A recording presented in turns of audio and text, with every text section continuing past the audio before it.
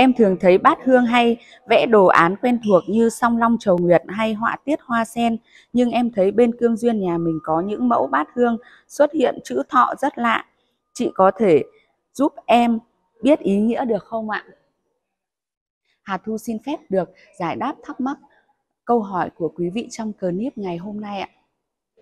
Hiện tại thì mọi người có thể thấy đó là đồ án bát hương với họa tiết bảo tiên ánh phúc với hình tượng trung tâm là viên thọ, xung quanh là những đóa bảo tiên trang nghiêm với tổ hợp của ba loài hoa quý gồm có sen thanh khiết, cúc trường thọ, mẫu đơn phú quý cát tường với mong ước thể hiện đạo lý uống nước nhớ nguồn của các thế hệ con cháu dâng lên các bậc bề trên. Kế tiếp theo Hà Thu sẽ giới thiệu tới quý vị một mẫu bát hương song long trầu thọ hình tượng trung tâm vẫn là hình tượng viên thọ, hai bên là rồng trầu, thể hiện cho sự âm dương hòa hợp, mong muốn mang đến cuộc sống được tròn đầy viên mãn trường thọ dài lâu. Và kế tiếp theo nữa đó là đồ án phúc thọ song toàn.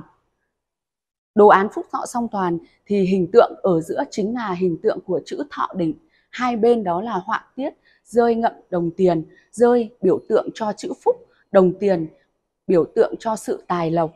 Với đồ án phúc lộc thọ đó là điều mong muốn lớn nhất của mỗi con người. Hy vọng rằng à, hà thu đã giải đáp được những thắc mắc của quý khách hàng trong clip ngày hôm nay.